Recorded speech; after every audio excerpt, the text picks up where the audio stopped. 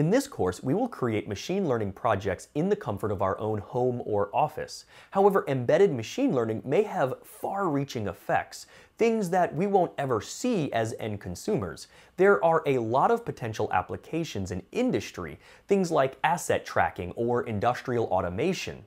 I've asked Daniel Situnayake, one of the founding engineers of Edge Impulse, to share his forklift demo with you. Hi there. So one of the most important applications for embedded machine learning is in industry. There are a ton of places where it is extremely helpful to be able to collect and understand what is happening in an industrial setting right where a sensor is located. So one example of this is in logistics. So imagine you're shipping a lot of hardware around on pallets and you want to keep track of what's happening to these pallets during shipment. How long are they spending during different parts of the process? And what kind of things might be happening to these pallets while they're being shipped around the world? So what I've done is I've created a smart pallet here. So I've added a microcontroller developer kit, I've added a battery here, and I've got my plastic pallet. And I'm going to be using this with my little toy um, forklift truck to demonstrate how we can train a model to understand what's going on with a pallet that might be being shipped around the world.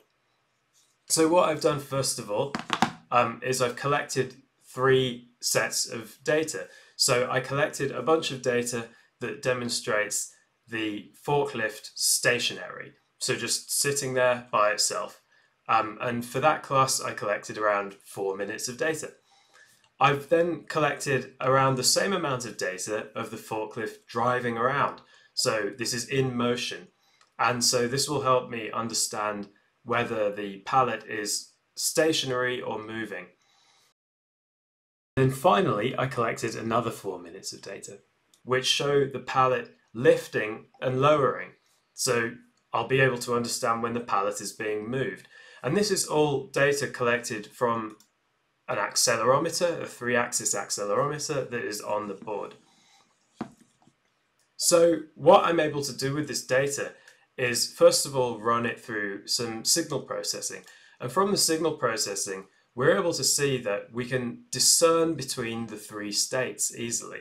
So we've got the driving state up here in this blue cluster. We've got the lifting and lowering state down here. And then we have a stationary state. So because it's easy to visually distinguish between these three things, this helps me understand that a deep learning network is probably going to be able to figure out the difference between them too. And as you can see, I've been able to train a deep learning model here to get 95% accuracy in discerning between the three classes of driving, lifting and lowering, and stationary. So why would this be useful?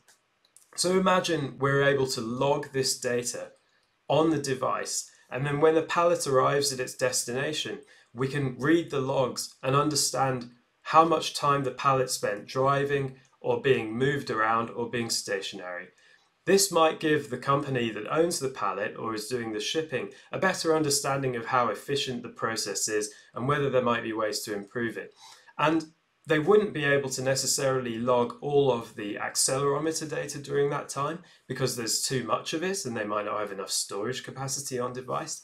And they may not be able to send the information in real time because it uses a lot of power and it can be costly and you don't necessarily have good uh, connectivity wherever the pallet is while it's traveling around the world.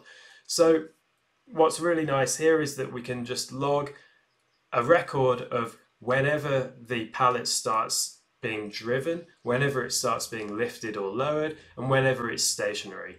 And we just have this low frequency numeric log instead of a high frequency raw sensor data. And so this is something that potentially a industrial user can derive some really helpful information from.